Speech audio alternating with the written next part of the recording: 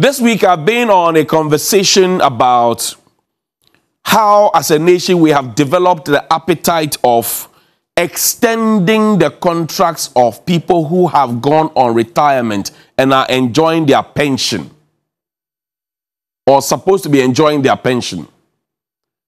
The teacher unions have come to corroborate what I said here and have asked that the Deputy Director General of the Ghana Education Service rejects the offer that had been made. Of course, it's not as if he sat somewhere and the offer was made to him. I'm sure that he would have been spoken to, consulted before the minister wrote that letter to the presidency on the 19th of August, which was also approved on the same day, 19th of August, under the hand of Nana to who's secretary to the president of the republic. So when he speaks, it means that the president has spoken. This week also, I've told you about several other directors of education within the Ghana Education Service, some of who have gotten extension of contracts, some of who have retired and have refused to leave the offices, and some of who are staying in office while the people who are supposed to take over from them are trotting. They are marking time, left, right, left on the veranda while the retirees are in office. This week, I've also showed you, Danny, maybe show me that I, I've showed you a letter suggesting to us that the financial clearance, that the thing of retirees should be a thing of the past, except when they have some special skill that nobody else has. Some special skill that nobody else has. Let's, let's, let's refresh our memory. Financial clearance contract appointment Please refer to the 2022 budget statement economic policy, which has been submitted and approved by Parliament uh, for the 2022 fiscal year. The Ministry of Finance wishes to inform heads of ministries, departments, and agencies, MMDAs, uh, of some expenditure policy measures outlined in the 2022 budget statement. Paragraph 3, 2, 4 of the 2022 budget statement and economic policy states government has, with immediate effect, suspended the granting of approval for post retirement contract appointments, except in the cases where the skills of the retiring officer are in short supply and unavoidably needed. In view of this, we are unable to grant financial clearance for post retirement uh, uh, appointment at this stage. Please take uh, treat as urgent. Honorable Abena Osei-Asare, Deputy Minister, and somebody said, "Oh boy," because I have shown you this week alone at least up to ten people who have gone on retirement who have been given contract extension, and it is not because what they are doing, there, there aren't others there who can do it. So this letter is a typical case of Obuwa. Let's get to the Ghana Immigration Service because the Comptroller General himself has been given a contract extension after he had reached his retirement age. And it has caused some confusion within the officer rank and in fact, within the immigration service, the officers are talking, sir. If you don't know, they are talking. What caught my attention to follow up this was when I saw some newspaper publication. I said, no, I had to dig into it. And I'm wearing green for a reason. You know, the immigration service wears green. So I want to talk to the comptroller general directly. Danny, show me the, the newspaper clippings. When I saw it, I took an interest in it because I thought that, look, this must not be happening. Now, it says the inquisitor this is on the 25th of March, 2022, right? It says um, immigration is boiling over controversial promotions. We'll get to it. Danny, the next one. Immigration is boiling.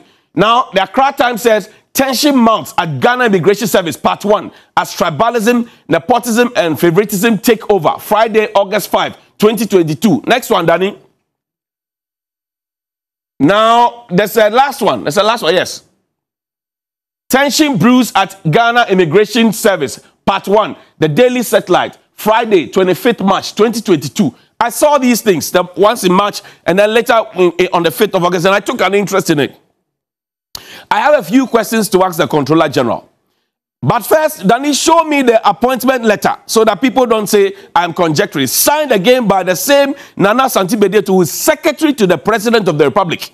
The same president under which we're told that because of our current financial situations, we are unable eh, to grant permit. We are unable to grant permit to individuals who have retired, except when they have special skills. And I've showed you this, this week alone how many. Next week, I'll show you some more. Now, it says two year uh, extension of service as Controller General of the Ghana Immigration Service. With reference to the letter um, with reference number SCR slash VA 76 slash 203 slash 01, dated 10th February 2022, on the above subject matter, I'm pleased to inform you that the President has granted you a two year extension of service as Controller General of the Ghana Immigration Service, effective 19 July 2022 to 18 July 2024. Interesting. I take this opportunity to congratulate you on the extension. Please accept the president's best wishes. Nana Asante Bediatuo, Nana Bediatuo Asante, Secretary to the President, Mr. Kwame Asuah Takyi Accra. That's who is the Controller General of the Immigration Service. And he find his picture and put it up there on the screen for me. I have a few questions to ask him. Sir, good morning to you. How are you? I'm told that three days into your, your new contract, after you turn 60, three days after your 60th uh, uh, anniversary on this earth, wonders started happening. My first question to you is that is it true that transfers were done on the 21st of August 2022, three days uh, into your retirement contract, on a radio or their Motorola's or Gota across the country, and this was not accompanied by any hard copies, as is the practice and that all requests by regional commanders to get the hard copies, as has always been done, have been turned down flatly. It fall down flat. Is it true? I'm repeating myself. That three days after you got this letter, which was signed, and you find uh, Commissioner General's, uh, Controller General's picture for me. It's it's one of the newspaper clippings. Find it quickly. Three days after your contract was extended, did you announce at a funeral? Eh? Did you announce at a funeral on the radio? You were not present at the funeral. That promotions have been done. And that when you were asked, when you were asked where the hard copies are, we couldn't get it. Now, uh, now work with me. Oh, don't, don't be working against me. Now, my second question is it the case that former regional commanders until your retirement are now being reduced to sector commanders. Is it true that regional commanders who have worked some for four years, some for five years, some for six years, some for 12 years, have now been brought down to sector commanders? Is it true? Under your watch, sir, I'm just asking you questions. Now, is it the case that a certain man, a commissioned officer, Assistant Commissioner of Immigration Kojo Opon Yeboah was on Thursday, the 18th of August 2022, transferred from Tema as regional commander to Bimbilla as the district commander. Listen, bring it back now. So this man is supposed to have been the regional commander at Tema. He was transferred to Bimbilla as the district commander. If you know the rankings, a regional commander and a district commander, so how do you transfer a regional commander and make him a district commander? Bimbilla, is it true? And that he, particularly, this man I'm talking about, has been on that rank of ACI, Assistant Commissioner of Immigration, for six years. Six years. And six years he has not been promoted. Meanwhile, there's a four-year conventional rule, if you if you ask any uniform person, they will tell you. Unless, of course, there are certain circumstances. What is the circumstance? Is it that because he's perceived to be one of the enemies of the Comptroller General of the Immigration Service and has consistently refused to promote him? Is that the case? So, what might be the problem with this particular man who has served for six years on the ACI rank? Because he's experienced and he's qualified. What could be the rank? Did he commit any crime? And why is it that experienced regional commanders are now being treated unfairly and being literally not de-. Because a regional commander brought down to a district commander, a sector commander is a problem. Did they do any wrong to merit such embarrassing, humiliating treatment?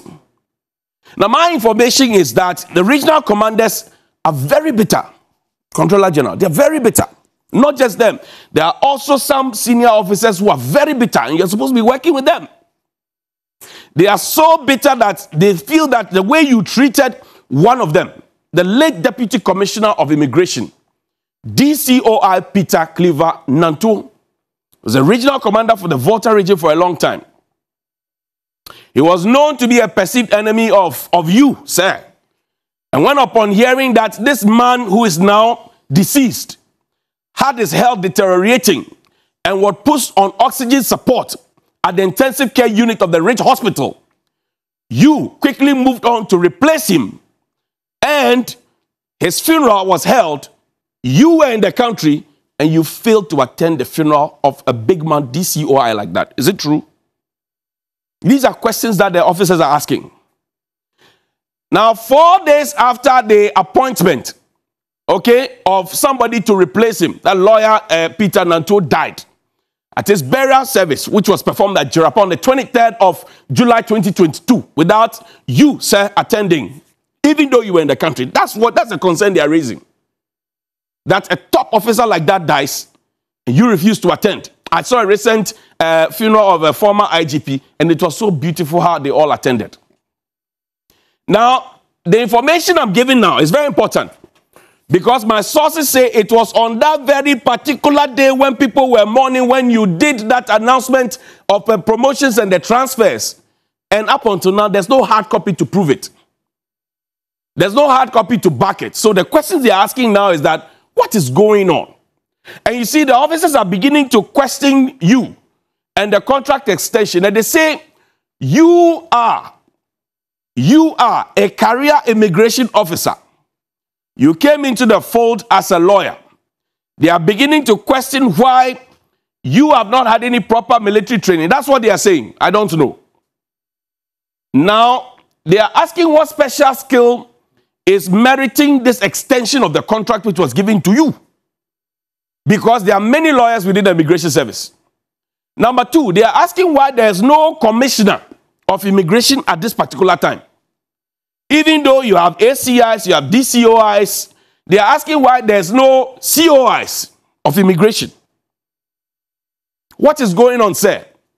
And they say, under your watch, sir, for five years as boss of the immigration service, under your watch, the immigration service has become the second most corrupt institution in the country. They said that should be your focus, sir. The officers are now discussing among themselves. I told you that in 2013 you were interdicted for visa and permit malpractices. Subsequently, you were reinstated in 2017 per court orders. Now they are saying that there's a question mark on you. There's a question mark on you. Then there are two letters. We'll wrap up with that. They are alleging that somebody was giving promotion two times in a day. They are even alleging that there's a promotion blockade, okay, within the immigration service and that people within your secretariat at the Ghana Immigration Service have been promoted two times, three times in three years. And people who have stayed on a rank for six years, four years, have not been promoted. Disaffection.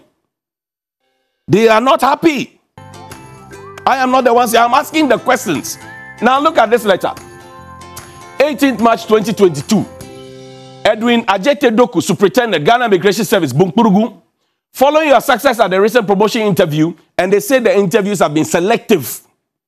I am directed to inform you that the Ghana Immigration Service Council has approved of your promotion from Deputy Superintendent of Immigration to the rank of Superintendent of Immigration with immediate effect from with effect from 13th October 2016. So it's been backdated. The salary scale attached to the post is level 19H okay, which is 23,000, uh, 23, yeah, 23,474.77 or to 24,000, whatever. You enter the scale at the initial point of da da da da da, signed controller general. Then show me the second letter. This is another letter promoting the same person. The Ghana Immigration Service can approve your promotion from Superintendent of Immigration to the rank of Chief Superintendent of Immigration, pursuant to Regulation 5 of Immigration, blah, blah, blah. See, same date, one person promoted from superintendent, same day, same person promoted from superintendent to chief superintendent. And that is the question the people are asking. They are asking this, and this is where I'd want Dr. Edward Prempeh, who is the chair of the Council of Immigration Service, to step in. If these are the things that you have supervised, and, and I'm asking their questions, so they say these are the things that you have supervised while you were Comptroller General. They wonder what will happen now that you have two years contract extension. I'm saying again, I'll say it again, that in a country where you have your youth unemployment rate rising and you have more old people getting jobs higher than the growth of the economy, as Dr. Yamsi said, and then old people are getting jobs, young people are walking around distressed, traumatized, and helpless. We are sitting on a ticking time bomb.